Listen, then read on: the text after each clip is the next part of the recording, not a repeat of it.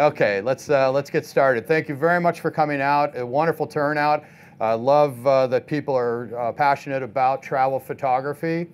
So we'll go right into it. I'm going to stand right here because I need to advance from the computer. So I'll tell you a little bit about my background.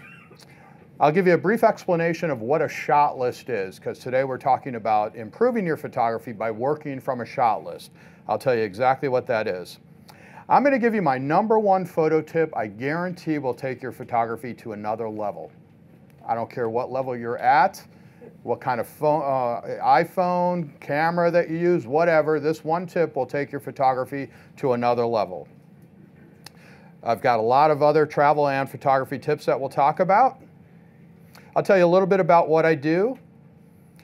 And uh, question and answers we're going to hold till the end. Because we're recording, it's going to be easier if we do it at the end instead of uh, throughout. Okay? And uh, you've got these sheets. If anyone needs one of these sheets, we still have some more here. But if you join my mailing list at photoenrichment.com, everyone gets a free copy of my uh, Ralph Velasco on travel photography. It's 101 tips for developing your photographic eye and more. And that's 150 page plus ebook. So you could read it on any reader. And I think you'll get some nice tips out of it. So join my list and you get a free copy of that. Uh, it's right at the bottom here throughout, but it's photoenrichment.com. And I will certainly tell you about it at the end, photoenrichment.com. So, a bit about my background. I've tried a lot of different careers. I've owned two restaurants. I was um, uh, director of marketing for a Fortune 500 company, a division of a Fortune 500 company. I sold real estate. Uh, most recently, before I started doing this full time, I was a financial advisor. Okay, so I founded the company in 2005 doing it part-time while I was a financial advisor. So during the day, I would be doing my stocks and bonds and stuff. At night, I was teaching travel photography at the local community college, uh, city of Newport Beach, where I was living in Southern California, uh, adult education type things uh, here at, at camera stores, things like that. So trying a lot of different careers. But we all know what happened in 2008, right? September 2008. So I say I've been doing this full time for about seven years because in September 2008 we had the financial crisis, right? So that was the kick in the pants that I needed to get out of that industry, which I absolutely abhorred, and do what I was doing and what I loved.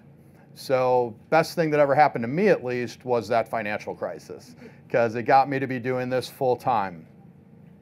Since then, uh, my company, which is essentially me and uh, one or two other very, very part-time assistants, ha have organized and led over 50 international tours around the world. I've done 14 people-to-people -people programs to Cuba. I'll be heading to Cuba in about a month for my 15th trip there. And uh, one of the great places to uh, travel to, of course, uh, it's been very much on the, uh, the travel photographers list now, and I know a lot of people want to go there if they haven't been already. My recommendation is go now. It's changing very quickly. Uh, mentioned the book, 101 Tips for Developing Your Photographic Eye and More. That was my first book that I wrote. I Also got another book out called Essence of a Place. It's a travel photographer's guide to using a shot list for capturing any destination and that went direct to ebook. So uh, if you go to my website, you can find that. It's, I think, $4.99. And again, read it on any reader. It was optimized for the iPad though, so some, there's some little extra features in there if you read it on an iPad. So, uh, but if you want to learn more about this idea of working from a shot list, that would be one place to go. I've also got an iPhone app that I created. It's only for iOS devices, so iPhone, iPad, iPod Touch. Uh, unfortunately, if you're on other platforms, it's not going to uh, work for you. We just haven't gotten around to putting it onto other platforms. As you can imagine, it takes a lot of time and money to create these apps, and so I just haven't gotten around to putting it on other platforms. But there is a post on my website where I show all 52 categories, which I'm going to talk about in a minute, exactly what that is. but that's called My Shot List for Travel. And uh, we'll talk about that more. Uh, any of you listen to This Week in Photo podcast? Okay, a couple of you. Uh, I love podcasts. They're like online radio shows with very few, if any, commercials.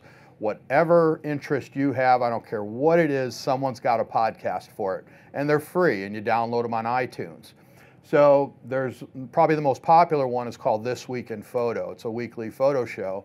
And they're starting to do individual photographers that are coming in and having specialized podcasts, such as uh, street photography, wedding photography, uh, family photography. Well, I'm going to be starting one called You Are Here with Ralph Velasco, and it's going to be a travel photography podcast. So hopefully in the next uh, couple months we'll start putting episodes up, but I'll be uh, going around the world interviewing travel photographers that have a specialty in a particular destination and we're going to talk to them so that if you go to that place, now you've got some inside information about how to shoot it better. So I'm really looking forward to that. Uh, I was just recently told in November that I was a finalist for the Travel Photographer of the Year award. You may have heard of it. It's a fairly prestigious award. Uh, you can see my name right there as one of the 2015 finalists. Unfortunately, they announced the winners and I didn't win. But I can take solace in the fact that I lost to a National Geographic photographer who has won the, this award before and many others. So I don't mind uh, being behind someone like that. So it's just an honor to be recognized as one of the finalists. Okay, enough about me. Uh, let's get into this idea of a shot list. So, a shot list is absolutely essential. What it is, is it's a checklist. It's simply a list of the kinds of shots that you should be aware of when you're in a place. Now, this is not an idea that I thought of. This has been around since the dawn of photography. It's meant to be an organizational tool.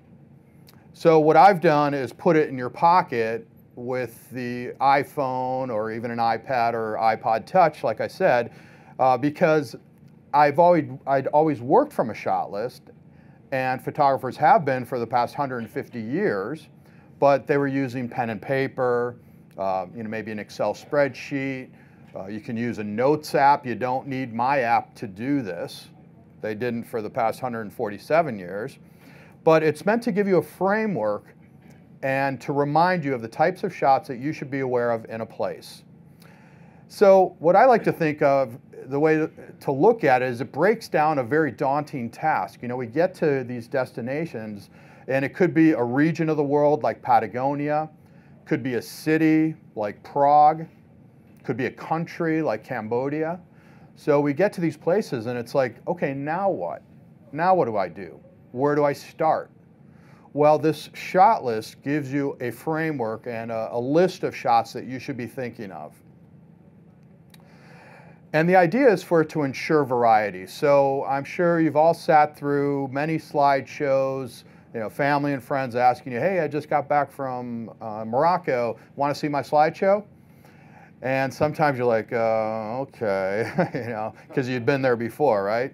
Well, I'm sure I used to create those kinds of slideshows, and we all did as well. But if you have an interest in a particular type of photography, maybe for you it's landscape or portrait photography or uh, architectural photography, whatever, whatever it might be, and you go to a place and you only show those kinds of pictures, you're going to bore your audience pretty soon, don't you think? You know, we've all sat through slideshows of 300 of even the most wonderful landscapes in the world, but you know, after the 20th or 30th one, you're kind of like, well, did anything else, you know, was there anything else in that place?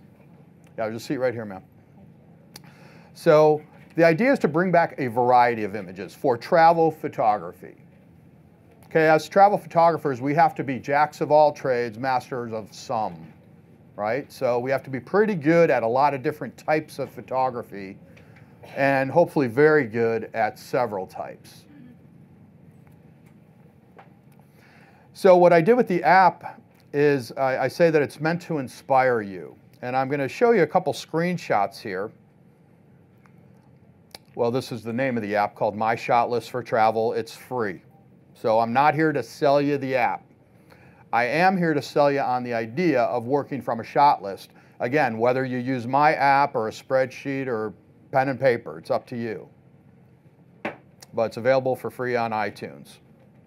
So what, what I would do on my trips, and it's come to be called Shake Your App. So uh, every morning someone would remind me, hey Ralph, shake your app. So I'd take the, my iPhone with the app open and I would shake it. And I'll show you a screenshot here. There's this little challenge me feature at the bottom. You can either shake the device or tap that button and up will pop a new category. So we started with an empty shot list and I'd shake the device and up would pop a new category that would be then be that category for the day. So let's say it was uh, history. So for that day, we need to be thinking about photograph, photo opportunities that have to do with history or interiors. How are we going to photograph the interiors of places? So these are just 10 or 12 different categories out of the 52 that I put into the shot list, uh, the, the app. Now, there's probably hundreds of categories, but I didn't want it to be overwhelming. I wanted it to be something that people would actually use. So I limited it to 52 categories. But that challenge me feature is meant to inspire you. So it brings up a new category, and then that's what you need to think about for that day. You know, the more you know what you're looking for, the more you're likely to see it, notice it, and be able to photograph it. That's also why I recommend having a theme in mind at the beginning of my trips. I say, okay, everyone's got to have a theme that they want to use throughout this trip, that they want to think about throughout this trip. It could be people at work or hands, the color red, whatever that might be. Uh, and as soon as we go around the room, and I always have a meet and greet at the beginning so everyone gets to know each other, uh, and people start saying, okay, I'm going to photo, you know, my theme is going to be bicycles. Well, what do you think you start seeing everywhere is all those other people's themes, right? So it puts it in your head, you start thinking about it, you'll start to see it everywhere. Kind of like when you buy a new car and it seems like everyone's got that car now, right? So if you tap on any one of those previous categories on that previous screenshot, let's say markets, up pops a little blurb about what markets are to me. There's a sample picture. You can tap on the picture. It pop, pops up full screen. Tap it, it goes away. And then there's something called My Data. So here you can put in notes to yourself about that category, about that place. You could input your own pictures from your phone, your device, into that category and then write notes on them. So I like to think that the app is well worth every penny and it's free. so uh, if you have an iOS device, please download it and, and I hope you use it and maybe put in a review on iTunes. But again, not here to sell you the app, it's free, but I am here to sell you on this idea. You can also share your photos, of course, right? So I mentioned that it's free.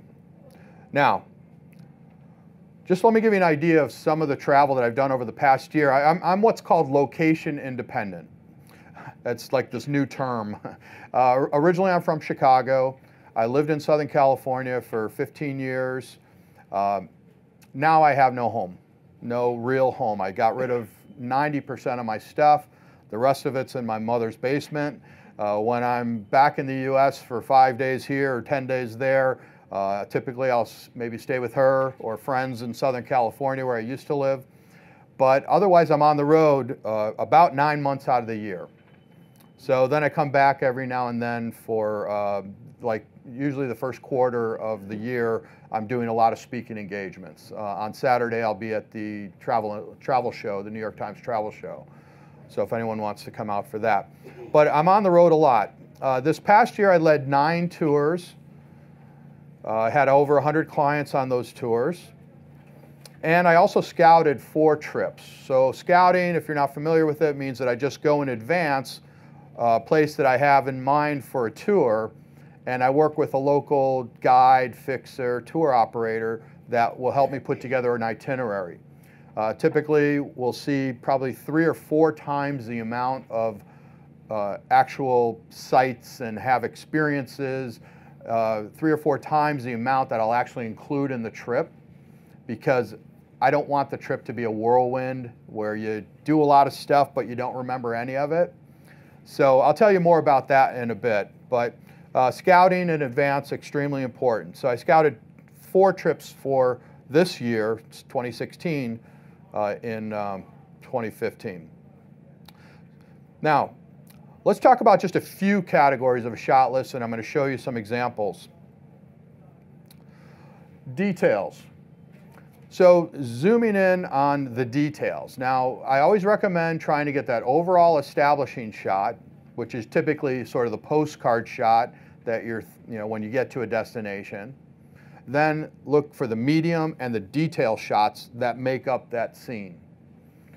If you'll do that, number one, you're going to get a lot of different types of images. So oftentimes I'm asked, Ralph, how would you photograph this, this scene? You know, we're standing there with a group.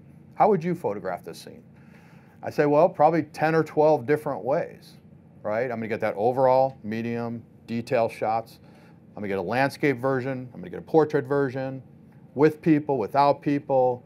You know, that right there, six or eight different ways to photograph the place. Okay, so zooming in on the details. So obviously there's a, another, there's a full person here, but I chose to zoom in on these feet. This is a, a young girl in Cambodia. I'll show you her face in, uh, in just a few minutes. Hands, again, talking about there being a theme in mind. So uh, this is a man sorting uh, black peppercorns in Kampot, Cambodia, which is known as one of the best places for, uh, for that type of spice.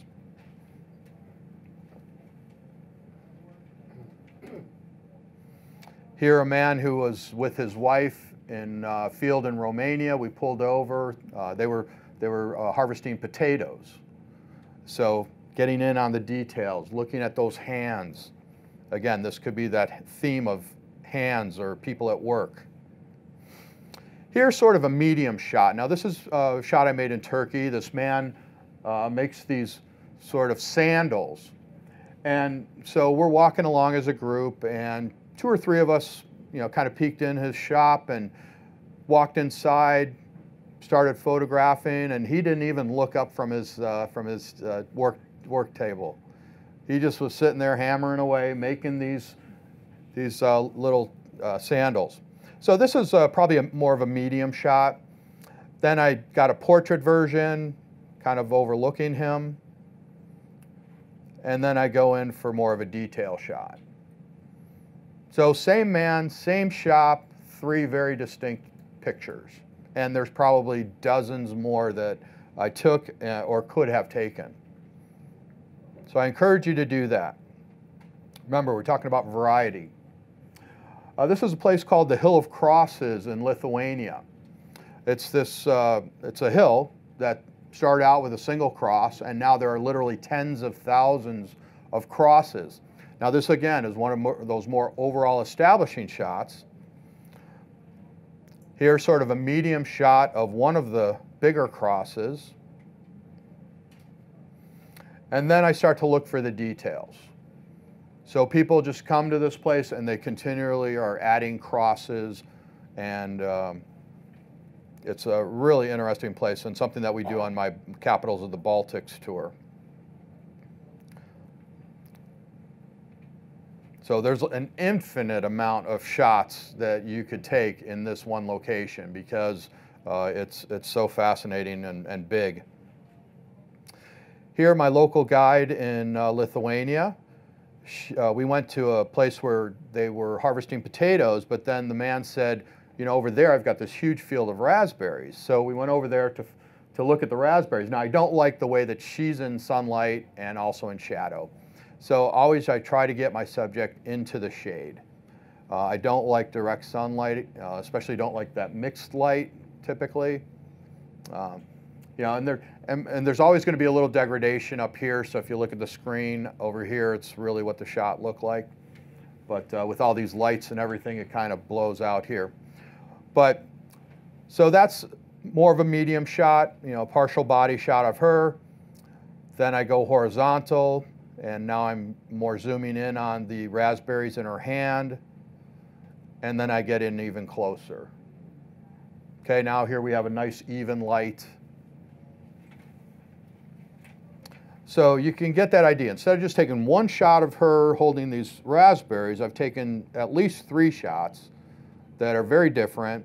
Never know when you're putting together a book or a website or something and you need a portrait version of something instead of a landscape version. You've got these different layouts. So give yourself those options. Instead of having to crop in on that first shot, which I could have done, but now what's happening? I'm losing all those pixels, right? I can only blow it up so big uh, for whatever my use is. Uh, here, a thousand year old piece of ice from a glacier on the black sand beach in Iceland. Uh, these pieces of ice are literally a thousand years old uh, from these glaciers that have been there, and they wash up on the shore. And here I was trying to show some motion by using a slower shutter speed, let that wave sort of move through the scene, but try to get a nice tack sharp piece of ice. So it kind of reminds me of a diamond on uh, black silk Everyday life, another category. So these are all categories of a shot list. Um, where do you think this picture was made? Yep. Why? Because of the, the, the, painting there in the background, right? So I consider this more of an environmental portrait, right? I could have just zoomed in on her and you probably would have had no idea where the shot was made. But that little detail of including that, that painting tells you immediately where that shot was made. So look for those extra little uh, details that are going to add to the, the shot. You know, if I get a photograph of a, a Bedouin uh, nomad in the desert, I probably want to get some camels in the background. But I'm also going to just get him as well. Remember, there's no one way to photograph a scene. So you want to get a variety of shots. Here, uh, where do you think this shot was made? Cuba, right? Well, I guess you can set up these shots, but I rarely will ever set up, you know, people or anything. Um, to me, the fun of travel photography is just being in the right place at the right time. So here we are walking the streets of Old Havana this wonderful red truck. Red, I love the color red for photography. And this cute little boy just walks up out of nowhere and he's got a shirt that says Cuba on it. I mean, how you know much luckier could you get? So to me, that's you know those are the moments when I'm like, nice. this is why I, why I do this. But um, you know, these are just people doing what they do. So I you know, call that everyday life. People just sitting in doorways, on door stoops, looking out windows. Uh, this lady selling cigars and eggs in, uh, in her doorway. Uh, so this is in Havana as well. So a little bit less telling because other than the cigars, which, you know, of course they have cigars in a lot of places, uh, but you may not know that this was actually in Cuba until I told you. Here, uh, dog that just happened to be looking out this little peephole in a door in Trinidad, Cuba. Here you get a pretty good sense of the rule of thirds, right? So we've got one third of the cement on one side, two thirds of the door on the left-hand side. Trying not to place my subject right smack in the center. Here, a man uh, playing guitar on the streets of uh, Trinidad, Cuba. Great time of day. So this was uh, around sunset, sun's low in the sky, so you got this wonderful shadow. Uh, I moved so that I could see the shadow and really highlight that shadow as opposed to had I been a couple steps to the left, that man would have been blocking that shadow, right? So I call that manipulating the scene, moving around it until it does what you want it to do. So I wanted to move to the right to reveal that shadow more. Here, a man smoking a hookah in Turkey. Just people doing what they do, everyday life. Here, a gentleman pounding out horseshoes in Turkey. His friend having a cup of tea, which they all do, while he's uh, talking to him, keeping him company. Uh, this man told us uh, he was 85 years old and he repairs saddles, these old saddles. So he's going to take, yeah, this is a saddle. This is the bottom side of a saddle. Um, now, on the street that he is on, he said there's only him and one other man left, and I think the other guy is 90 years old. But at one time, in the you know the heyday of saddles and horses and things, uh, there used to be 12 of these people. You know, enough business for 12 of these guys to to exist. Now they're down to two, and they're both over 85 years old. But just a super guy. He uh, smiley, just wonderful person. Here, uh, this is on the streets of Hanoi, Vietnam. And I'm walking along and I see this barber in his chair. And in the mirror here are some girls reflected that are behind, you know, right? You know, they're behind to my left. So I moved around, I'm walking, I'm, I'm hoping to take a picture of him reflected in the mirror. And then I see these girls reflected so again, moving around till I get them just where I want them in the shot and photograph that. So mirrors are, and uh, you know, any kind of reflection, puddles. Uh, if you ever come on a trip with me, you'll see me walking around puddles. He's like, what, what's he doing? Well, I'm looking for unique ways to photograph a reflection of something.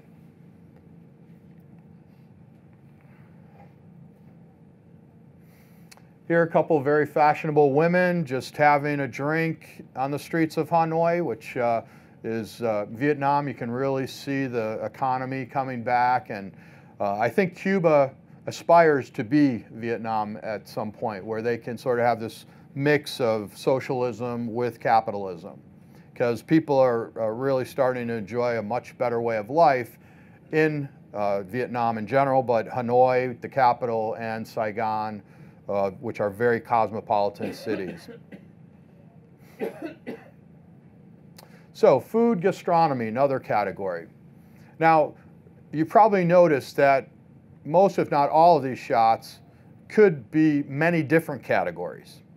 This could be people, could be food, could be markets, just depends. So uh, rarely, if ever, are you're going to take a photograph that's going to be one category. But here, of course, I'm looking, uh, flags is also another category that I've got in my shot list. So what's more distinctive to a country than its flag? Really nothing. So here I want to include that. I want to include the El Socialismo uh, sign in the background. Got this man working uh, with his uh, watermelons and products there in Havana woman uh, selling snakes and eels in Vietnam. Never knew that there was this many varieties of rice until I went to this market in Vietnam. So lots of different grades and qualities and prices. So with all of these things, it's about you know, finding what's distinctive to the place. That's the, you know, that's the gold is when you can find something really distinctive like the flag. And I'll show you some other things that are very distinctive to their countries. Some more ladies in Vietnam, these uh, wonderful wet markets where they've got these live animals that they sell. Uh, these ladies uh, selling rambutan, this fruit here, wonderful fruit. And uh, the reason I show this shot is uh, they uh, were there were uh, vendors all along the street for maybe two, three blocks. And we were just walking along, photographing, and all of a sudden, all of these vendors picked up and started sort of running away, moving away from where they were set up, taking their blankets and covering their stuff, putting it on their back and running away. And we're like, what's going on? Well, there was some police down the way and they were selling illegally off the curb. So they were all packing up trying to uh, get away instead of being fined. Uh, here back in Hanoi, so you have these people that are setting up businesses wherever they are, wherever they can, whatever they're selling, they just find a street corner and sell fruit or you know pho, the soups, whatever it is. Here, a woman in a rice field in Vietnam. Now, uh, there's kind of a funny story behind this shot. Uh, I was with my guide, saw this group of women ac across the freeway, and it was you know fairly, um, you know, it was more of a, a busy road than anything, and uh, asked if we could pull over. Went over there and started photographing them. And so she's talking to the interpreter. He's saying to me, uh, "Where are you from?" I'm originally from Chicago. And then I could tell he was telling her that. Uh, what do you do for a living? Well, I'm a travel photographer. And he would tell her that. Says, are you single? I says, yeah, but I'm not very geographically desirable. but uh, she just had the best smile. Every time I look at this picture, I have to smile because she was really fun. So here are a couple of the other women that were working with her.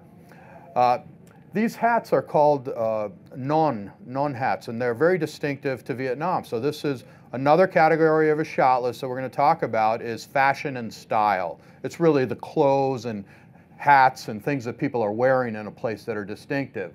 Uh, you know, first, uh, you know, being uh, kind of an ugly American, and I'm like, boy, those, you know, those seem like tourist, hat, you know, touristy hats or you know things that they would sell to the tourists. But they, they wear these day in and day out. This is something that they wear all the time. And so it's very distinctive to that place. The men have one that's shaped a little bit differently, but it's also called a non.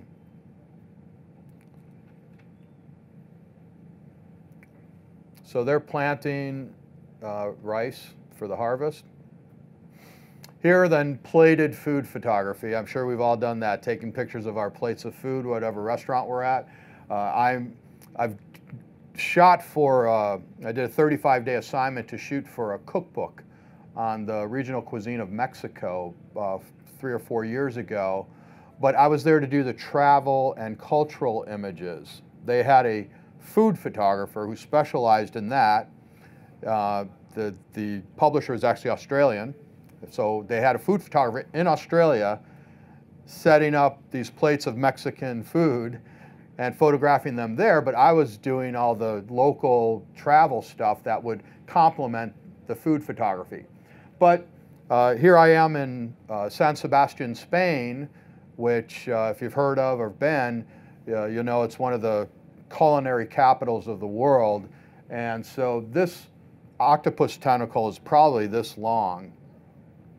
And uh, so I was there scouting for a future trip that I'm doing, but just trying to you know, practice a little bit of my food photography.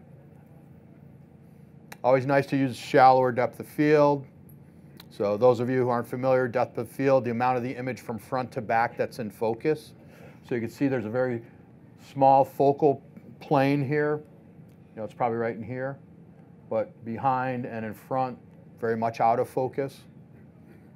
So that's really good for portrait photography, food photography. So here, Ha Long Bay, Vietnam. Uh, so woman who's got these live shrimp and crabs and fish and you name it in these little colanders that are floating in the water and the fish are swimming around. It's kind of a pretty clever way. And look, she's got these little floats on here. It's a clever way to keep your, your product fresh. And so that's how she was selling her wares. Landscapes. So a little bit difficult to see over here, much better uh, exposure if you look on the monitors. But uh, this is Ha Long Bay too. So these are limestone formations called karsts. If anyone's been to Cuba, you've been out to the western part called Viñales. They have a very similar structure out there they call mogotes, uh, but there's no water. But if the water had receded like it did in Cuba, if it had done that here, it'd be very similar. So uh, Ha Long Bay, one of the really otherworldly landscapes that you will see. Here I've chosen to convert this to black and white. Really emphasizes those layers. So we're actually uh, walked up about 450 steps to, you know, maybe about this height equivalent across the bay. So I'm shooting from up above down onto the bay. Here, a, little floating fishing village. So people actually live here, stay here overnight. They've got their facilities. They can be right there to, uh, to, to go do their fishing. And here I've converted that previous image to black and white. Here, a town called Vama in uh, Bukovina, Romania. So getting out early when there's nice mist and fog. Here back in Turkey, town called Uchisar. Now, if you'll notice, uh, there's actually uh, there's a town up here, and you can walk up to this point. And I believe I've got a shot that I'll show you. I was up there photographing back down. Here back in Romania. So this man taking his milk from the cows that he owns, bringing them to the co-op where they sell them as one big lot. You could see uh, the cow, or excuse me, the, the horse. Horse has this uh, red, it's yarn hanging from his head, and that's like an evil eye. So it's meant to keep away the evil spirits. And if it's a single horse, he'll have two of them. If it's two horses on the same cart, one will have it on the left and the other will have it on the right. So it's an interesting custom that, that, that they do there. But uh, getting out early, at the time of day when these guys are doing this, when there's mist in this valley, really pays off. And we'll talk about that a little bit more. Uh, this is actually one of the hotels that we stay at in Romania. It's just outside of the town of Bran, which if you've heard of uh, Dracula's Castle, which is in Transylvania, it's, uh, well, you know, Dracula wasn't a real person, obviously, but, and uh, Bram Stoker never set foot in Romania, but he set that story here. But uh, beautiful, beautiful country. I was blown away by it. And uh, just got invited by a tour operator there. Hey, I see you don't do tours to Romania. Would you be interested in coming over and um, you know con consider leading some, you know, bringing some people back here? So I was definitely interested, and I absolutely fell in love with the country. Fascinating place. Uh, I'll show you some other pictures, but it's, it's like a step back in time, but you still have a really nice infrastructure of hotels and roads and buses and restaurants. And so you get the best of both worlds. Here back in Halong Bay, uh, I am always grumbling when there are no clouds. And you could see how there's so much a part of this picture, half of it is just blank sky, right? So typically I would frame this more of a panorama. Uh, I think for a while I used this as my Facebook cover page, you know, where it's more of a panorama crop. So I could take out some of this water, some of that sky, and really focus the viewer's attention to the more interesting part in the middle. Yep. So I say emphasize what's interesting and de-emphasize what's not. So typically I'm framing out this blank sky in this kind of a scene. Now here, you know, good use of the rule of thirds. So I got about third water here on the Mekong Delta and about two thirds sky. Got these beautiful clouds, very ominous. Uh, the woman against a, a nice clear background. So is the boat. Want to try to avoid overlapping. Turkey, uh, Cappadocia, Turkey, if you've been there and you've, one of the things you have to do is go on a hot air balloon ride. Absolutely wonderful. Even if you're afraid of heights like I am, it was outstanding. About 100 balloons go up, and it's not scary. This is the shot I meant to tell you about uh, earlier that I was up on that little point. And so I probably took that other shot up from down here somewhere. But I like these people in the foreground. I like the shadow here. that's what attracted me to that scene. That's what made me photograph it, was those people. And I'll talk a little bit later about adding a human touch to your photography.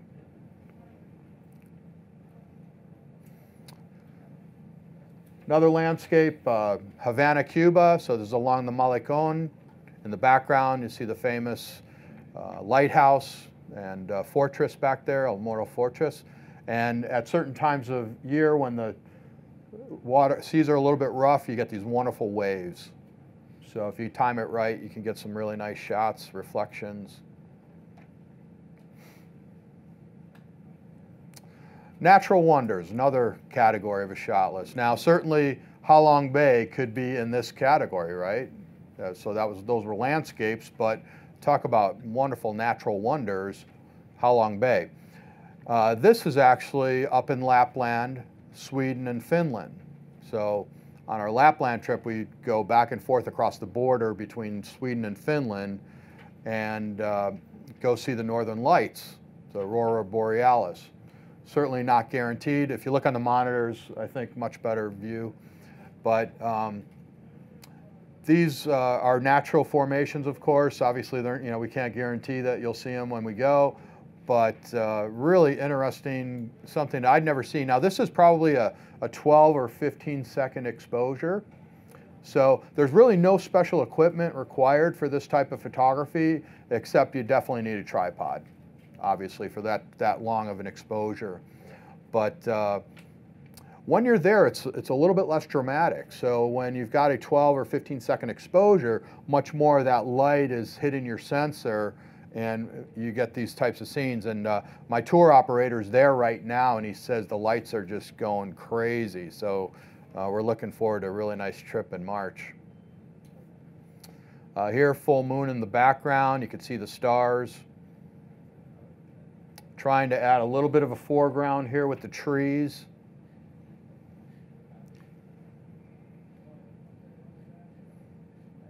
Really fascinating uh, natural wonder. So here I was light painting one of the, my fellow photographers. So I just took a flashlight and painted her during that 10 second exposure, asked her to stay still. So while she's looking through the camera, I'm light painting her, but still was able to expose on the background as well.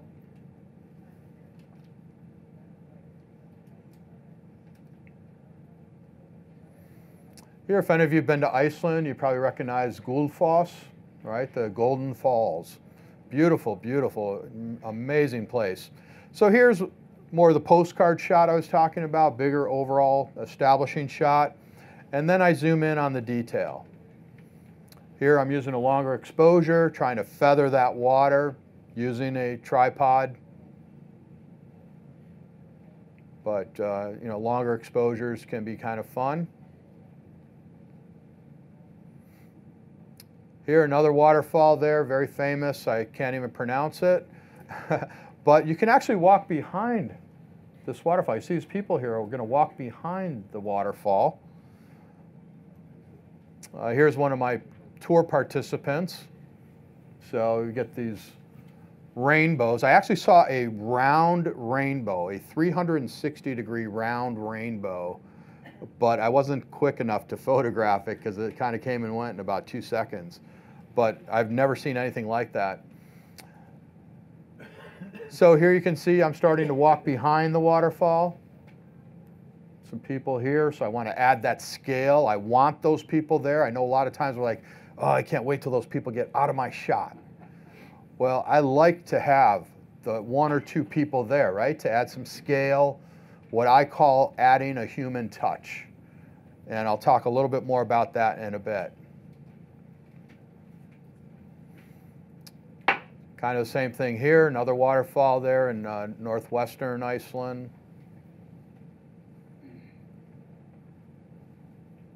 Now here, uh, icebergs there on, uh, in one of the iceberg bays, but you can see I've chosen, again, to de-emphasize what's not interesting, which is the, the water below here, and emphasize what's more interesting above. So I framed just below this beautiful iceberg. And then this one I decided to convert to black and white. So you could kind of have some fun doing that.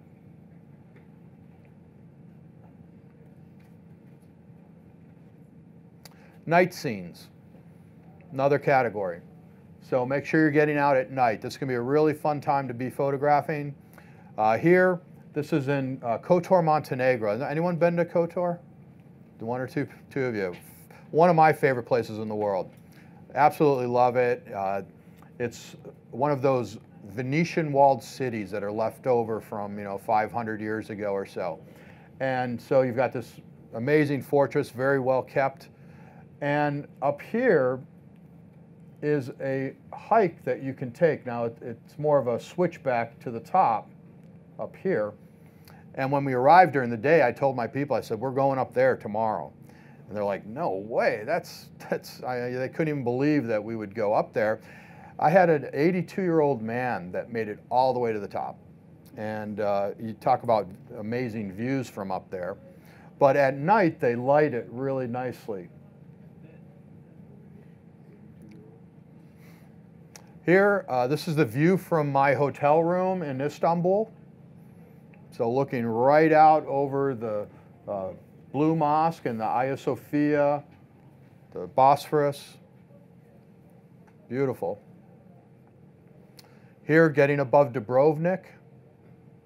So Dubrovnik sort of, there's a hill over here. You can get up there and get some really nice photographs above the, the walled city. Another one of those Venetian walled cities. Couple sisters in Hoi An, Vietnam. They sell these little sort of baskets with a candle in them for about a dollar, and then you float them down the river. And you can see hundreds of these candles floating down the river. And I'm like, well, do I really want to contribute to that? Do I want, you know, to sort of litter like that? I mean, yeah, it's beautiful, but but then I realized that their little brothers were down the river collecting them and selling them back to people. so at least it was recycling, right? So that I don't mind contributing to. But really nice light on their faces just from the candles. Here back in uh, Hanoi, this is uh, this red bridge on the, this wonderful lake. This is a pagoda, a little difficult to see in this lighting, but you can see it much better over here. Uh, using a very small aperture on a tripod, of course. I want to try to get those starbursts in the, in the lights over here. So that requires a very small aperture. Stop down your camera. You know, you stop down a lens, you stop up a toilet. You realize that? Uh, okay, so a couple additional categories. Uh, culture and customs. What are people doing in a place that's different? We saw the man smoking the hookahs, a lot of different customs. Uh, you know, the horses with the, the uh, evil eye. What are people wearing in a place that's different? The, the non hats that we saw the, the women wearing in Vietnam. How's the language being used in a place? Souvenirs and crafts, what are people creating and selling that's different? And something that I call the underbelly.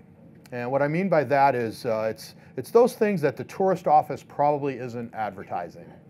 Might be homelessness or graffiti, things like that. But if you want to tell the whole story, that's part of it.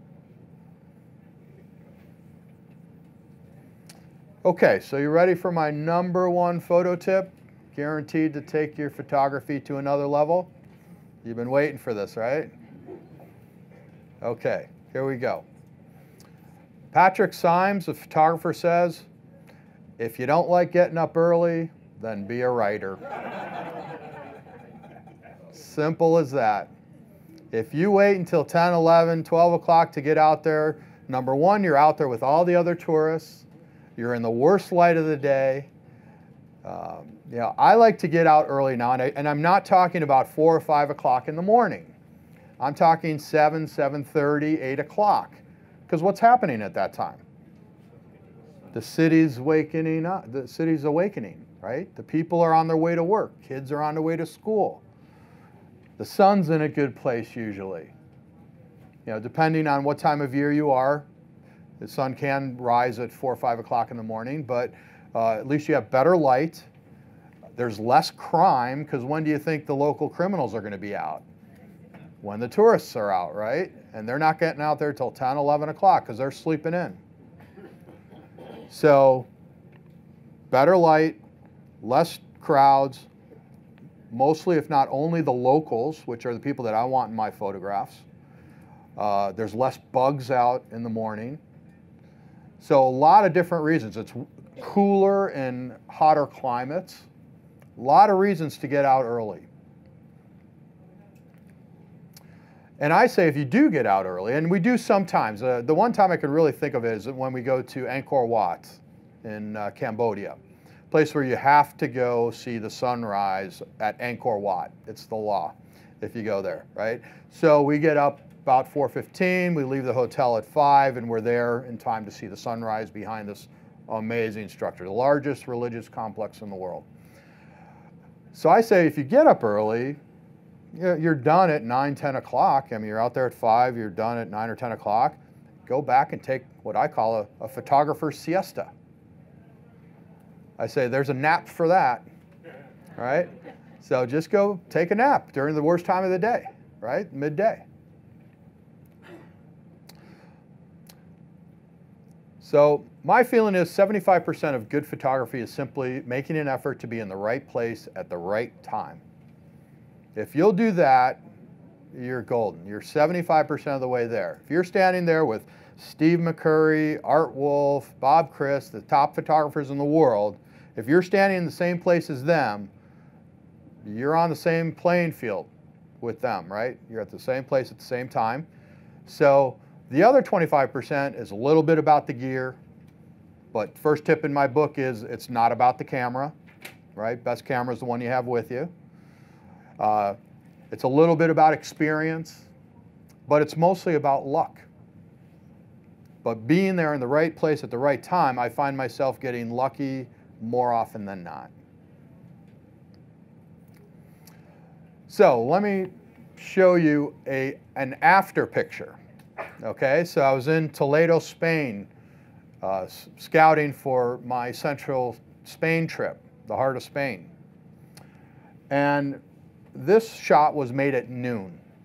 Okay, worst time of day, right? Really harsh light. There were crowds out, no clouds in the sky this day.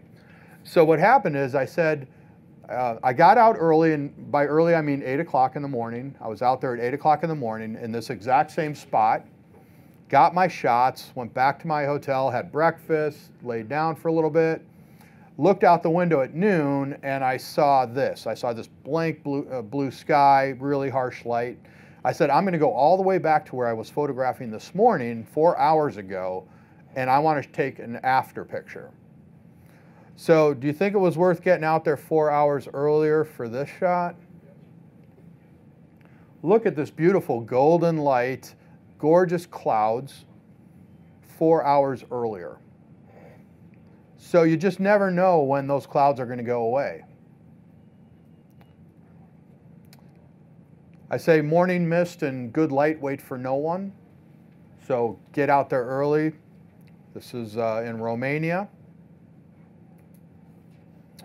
Uh, here I am in Cairo, and I saw this woman wearing this beautiful pink outfit, blowing in the breeze. So I got a couple quick shots of her. And then I got back to my hotel that night, and I started looking at the pictures, and I realized that the pyramids are up here in the background. And I had no idea. I did not plan that. I could tell you that I did, but I didn't. So that's where you get lucky. Just happened that way. And I framed it just right um, because there it's very smoggy. And so I probably couldn't have even seen them with the naked eye. But I got lucky. Here, this is in Trakai, Lithuania. So I'm, I'm here with my, my local guide, and she recommends that we go inside the castle, and something that I wanted to do. I said, we're standing right here. We've got these beautiful clouds, this nice light. Let me get some shots here real quick before we go in. So I do that, get my shots, come out 45 minutes to an hour later, and it was this. You know, talk about blah. Got a pretty nice light on the, the castle itself, but man, what a blank sky, right? So that was just 45 minutes later. So get the shot now. Don't say I'll come back later. When you know, in this kind of situation where you know clouds may come or go, the lights changing. Okay, a few additional tips. something I call my ABCs of photography. I say that my mom taught me the one thing that I could use in photography that is one of the best things I could ever learn, and she's never picked up a camera in her life. And that was simply to always be curious. So I call that the ABCs of photography. Patience, and curiosity are the two best qualities that you could have as a photographer. Dorothy Parker says the cure to boredom is curiosity. There is no cure for curiosity. Pretty profound.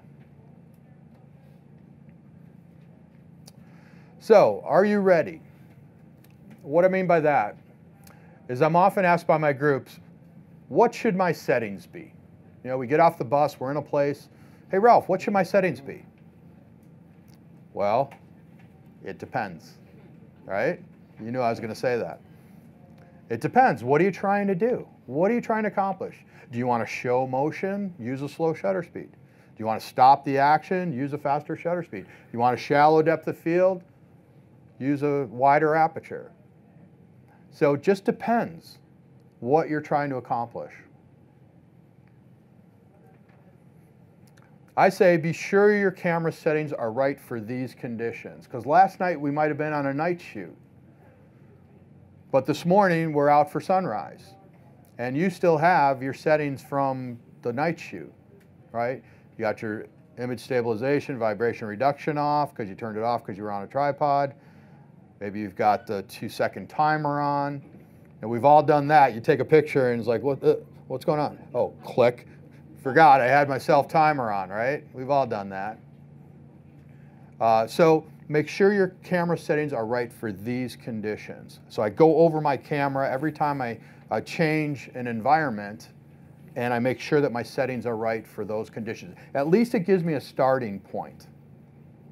And then I can experiment and change from there. So I say shoot in auto. You're like, what? Shoot in auto? Are you kidding me? Wait for it. I say set your camera up so that it's essentially a point and shoot camera. Okay, so these are my recommendations for photographing travel photography. Say no to manual mode right? That big M on your camera, right? You're still a photographer if you don't shoot in manual, okay? A lot of people say, oh, you're not a real photographer if you can't shoot in manual. Well, I had some ladies on my Morocco trip a few years ago, and they were uh, struggling. I could tell. We were in the market in Fez, and this is a really busy, fast-moving market. And I came up to her and said, ladies, what's going on? She says, I just can't get my settings right. So I look at her camera and she's in manual mode. I said, well, you got to get out of manual. You, you know, you just, uh, why are you shooting in manual? She says, well, I just took a landscape photography workshop before this trip, and the guy said I should shoot in manual. Well, that makes sense for some landscape photography, right?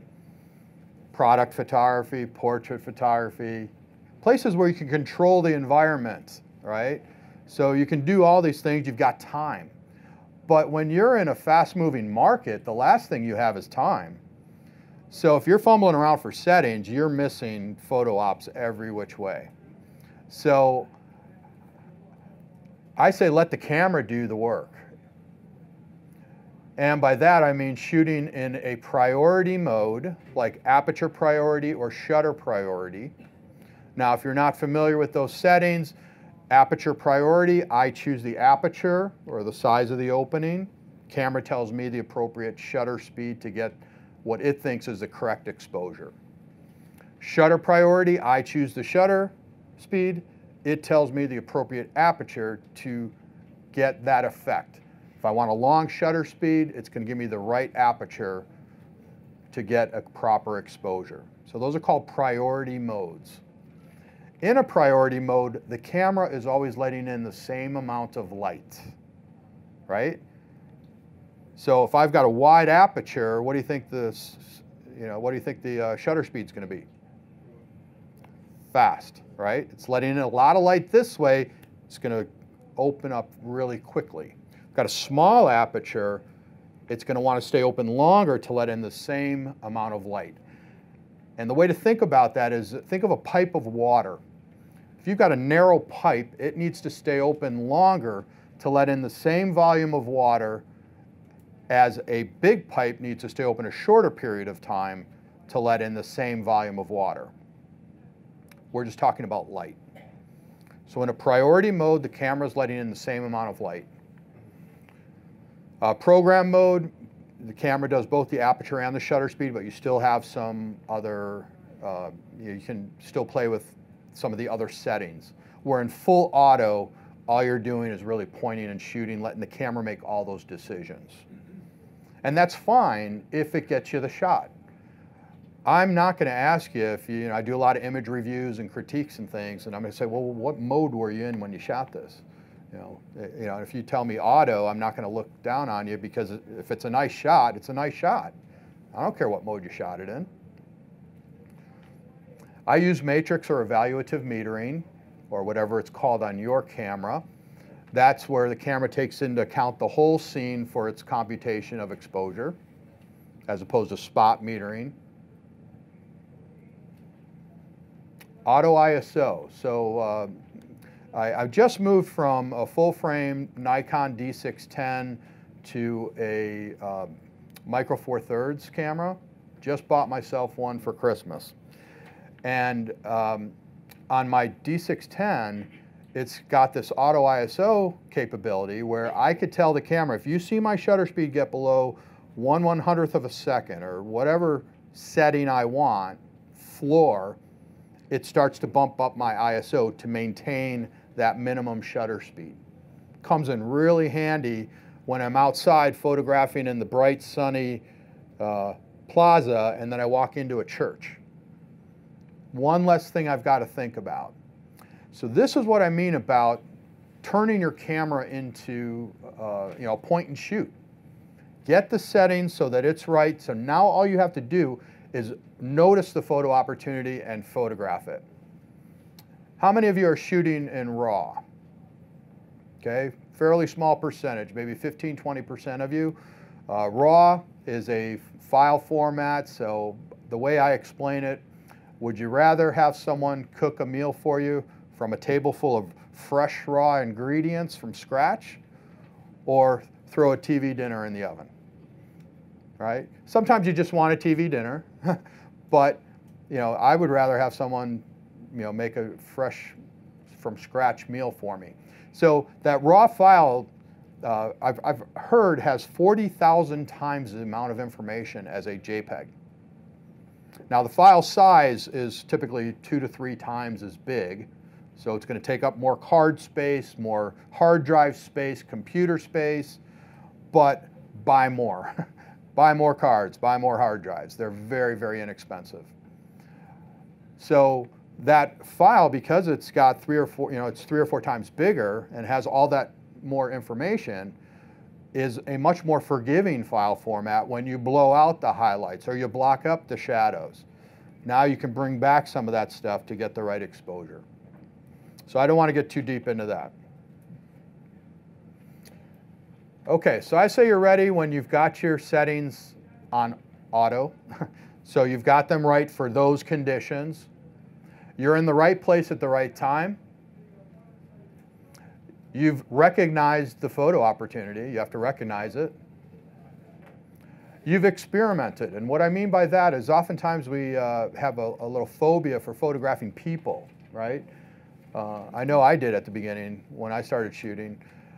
But what I say is if you see a person that you want to photograph, maybe it's a vendor, someone working in a, you know, a, a market or something, try to experiment over here, say the photo opportunities over here, experiment over here in the same lighting conditions, maybe with your friend or wife or husband, photograph them, same distance, get everything right, make sure you got everything looking good, then go to that person and you go boom, boom, boom, boom, boom, and you're done in 10 seconds. Instead of coming up to that person, what I was always fearful of was taking that person's time, right? So I'd go up to them, you know, I'd say, "Oh, wait, just a minute. I, I got to look at my histogram. Oh, what, what, you know, what's aperture priority? What, um, you know, hang on, I just, you know, and I get all flustered, and of course the person's like, "Are you kidding me?" so experiment over here and be ready, and boom, boom, boom. Now you get the shots. So don't delay, shoot away. Just say no to this. this is actually a participant on one of my trips. Now, of course, he's joking with the tripod on his head, but he is one of those photographers that will go out with two bodies, two lenses, and God knows what else on his you know, bandolier here.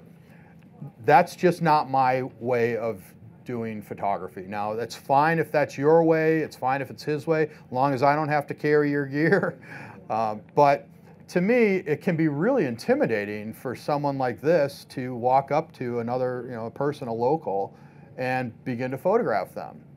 And that's one of the reasons that I'm going from these bigger DSLR cameras to that micro four thirds camera. It's less intimidating to the subject. It's much lighter and smaller for me to carry around the world.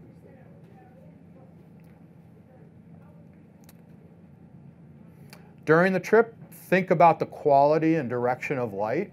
So really look at the scene. How's the light affecting your subject? Can you move them around? Can you move around to change the way the light's are hitting them?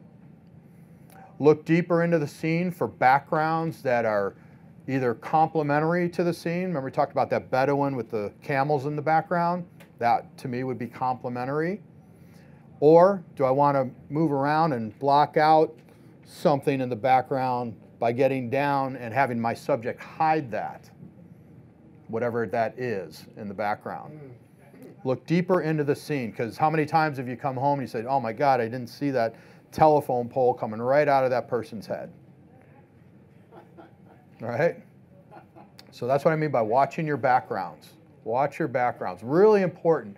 Whenever I do image reviews and critiques, uh, you know, I see these things happening in the background, and I point it out to people, and they're like, I didn't even notice that. So really look deeper into the scene. To me, it's about timing and anticipation. So as a photographer, uh, especially in these moving scenes like markets and stuff, you have to uh, sort of tell the future. And what I mean by that is you have to anticipate that person walking in front of that background and where do you want to actually get that picture, you know, unless you're doing continuous and going, you know, and hope, you know, spray and pray, right? But if you could get that person walking by that particular background and you've got their legs spread apart like that instead of, you know, like this from the side, probably going to be a better shot like this. So it's about timing and anticipation, anticipating where that person's going to be, where you want to photograph them.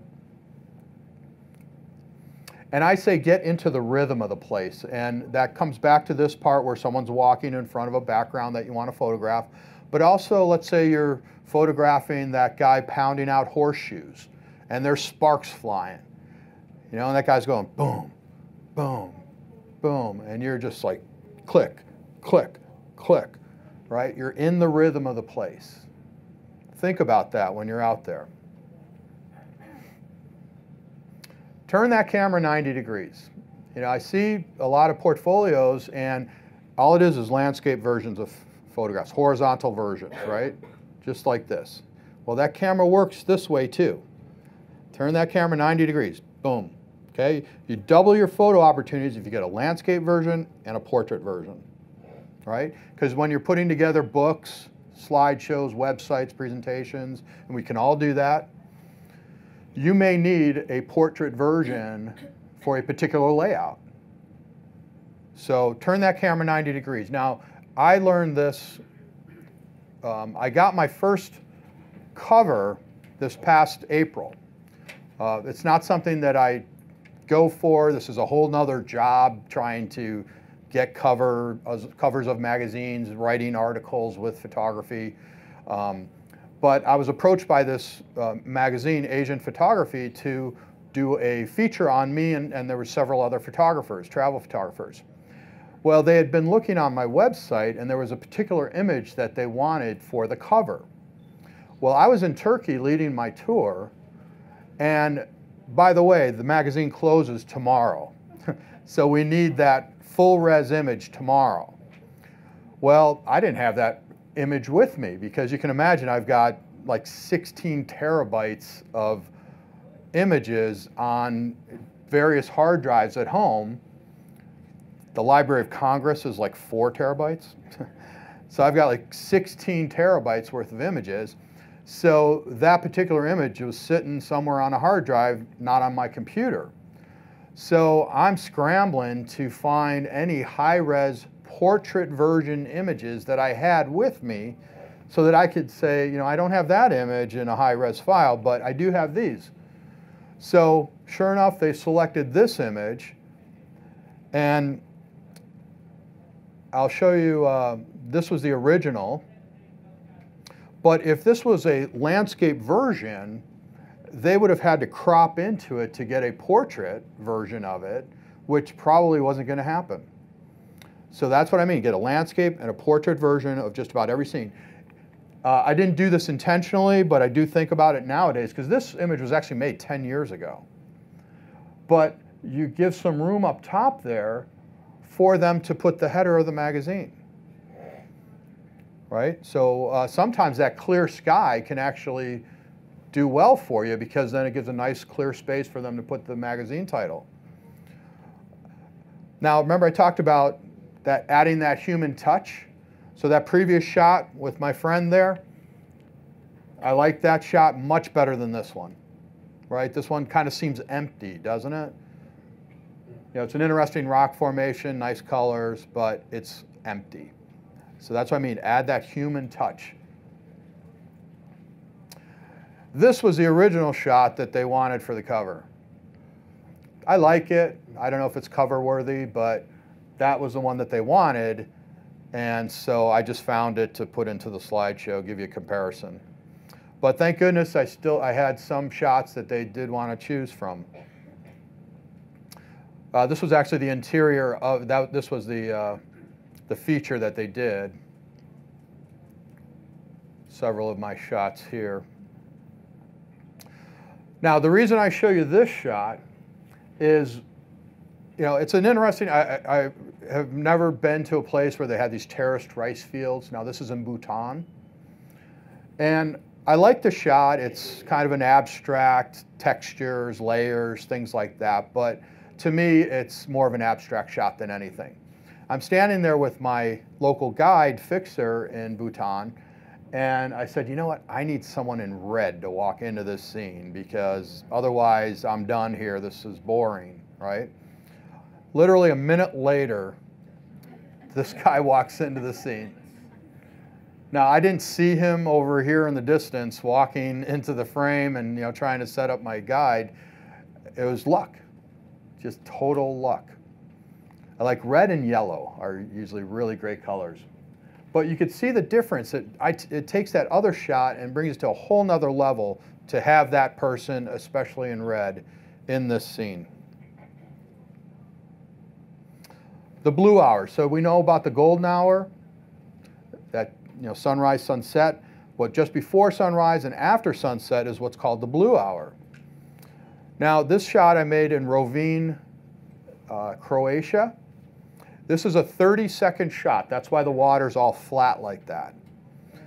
So this shot was made four minutes earlier than this next shot, exact same settings. exact same settings. Four minutes later, this shot was made. And the reason I show it is you can really see that that blue hour just sort of turns on. At sunset, it turns on. At sunrise, it turns off. Again, four minutes earlier, four minutes later. So really dramatic difference. Here, Budapest, Chain Bridge, Parliament, Krakow, Poland, Prague. So it's just a wonderful time of day to be out there photographing.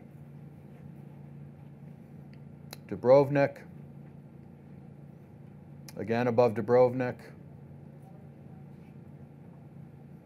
Lake Bled, Slovenia. Here I got double duty with the reflection in the water.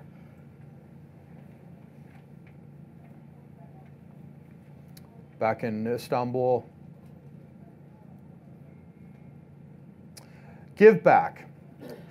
What I mean by that is I have the luxury of going back to places over and over again.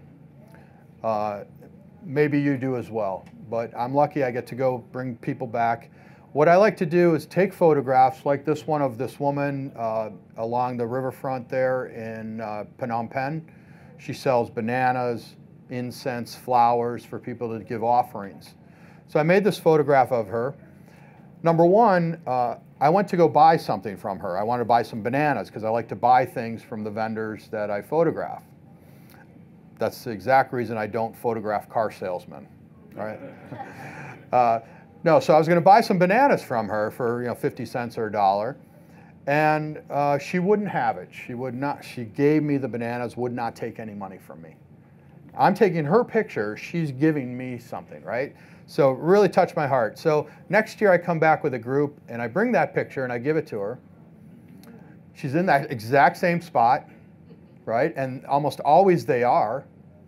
And uh, she started crying. She was so touched that I brought this back to her. Here, man in Trinidad, Cuba, brought back to him. Young girl at the end of the bamboo train in uh, Cambodia. She sells these little bracelets and things that I buy from them. Brought that picture back to her.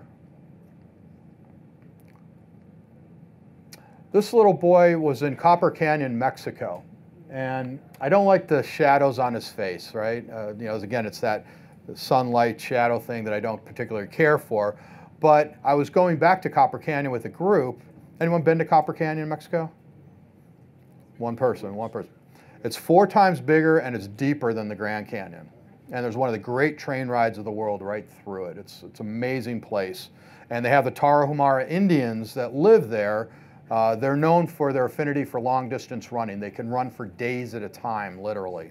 There's a book out called Born to Run about them. Fascinating culture. Very shy people, open to being photographed, but I have never seen a Tarahumara Indian smile, laugh, chuckle, anything. So I'm going back with a group. I bring uh, this picture back and I'm showing it around the area that I knew I had taken it. So I show it to this woman so number one, I find the little boy, right? And I like the fact he's wearing that Chicago Bear shirt. But uh, find the little boy. Now I wouldn't have recognized him. Two years later, you know, he was probably two in the first shot. But his mother, I like again, never seen a in Tarahumara person smile. She did not stop smiling for 15 minutes because I brought her back this 29 cent picture. So I, I say, you know, bring back these very inexpensive, very lightweight, but very powerful images back to people if you feel like you might run into them again and you have the luxury going back. Uh, another couple little girls I took on that same first trip, showing that picture around. Showed it to this one little girl. She didn't know who it was. Show it to these girls. They say, it's that girl you just showed the picture to. Well, she was probably five in that picture. Now she's maybe seven. A lot of these people don't have mirrors. They don't own pictures of themselves. You know, they change a lot as kids. So she went and grabbed her cousin, who was the other girl in the picture, and I made this shot of them. Didn't even recognize herself. Very similar thing happened here in Chefchaouen, Morocco, one of my favorite places in the world.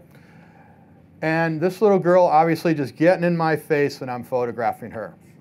So I'm back in Chef Chefchaouen just in October and I bring this picture back and I knew exactly where I'd made it. And there's a young girl there and I said to my guide, I said, could you ask this girl if she knows who this other girl is? She says, that's me. That's me. And another man in the area confirmed it, that that was her in this picture. Well, you see how I like to take pictures of people with the photograph? She wasn't having she wasn't having it this time. This is the only way she'd let me shoot her. I thought that was kind of funny. so, be the subject too. We go to these wonderful places. Sometimes we forget to get in the photographs ourselves.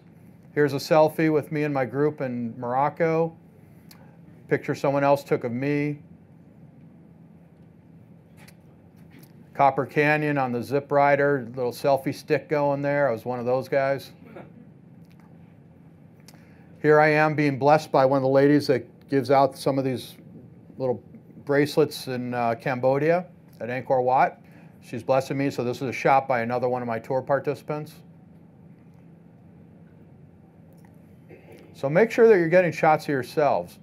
Uh, here I am on a 300 year old lava field it's got moss about that deep in Iceland. So our local guide made this shot.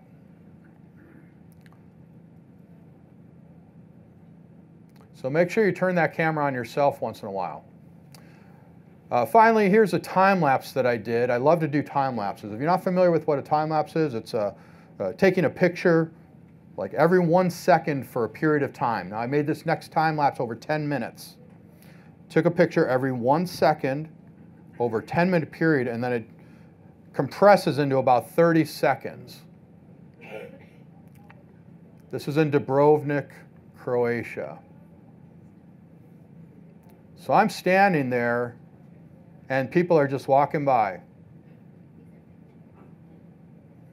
Kind of fun. Now that was made with my iPhone. If you have a newer iPhone, you have that capability on your iPhone. Slow motion, fantastic. If you see people doing stuff that you can get some slow motion, I love to do slow motion photography. Ansel Adams says a good photograph is simply knowing where to stand. Remember, it's that whole idea of manipulating the scene, moving around it, see what it does.